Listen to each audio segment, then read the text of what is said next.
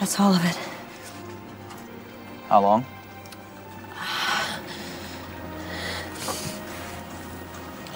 If you can trust that little, uh, that little counter thing. Mm-hmm.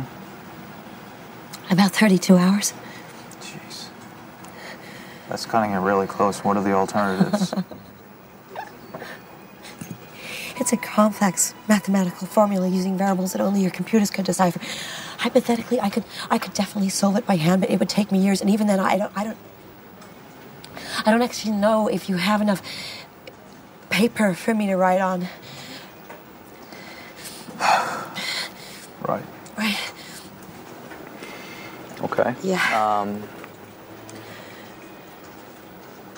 Trish, you're here for a reason. We can do this. Just keep me posted.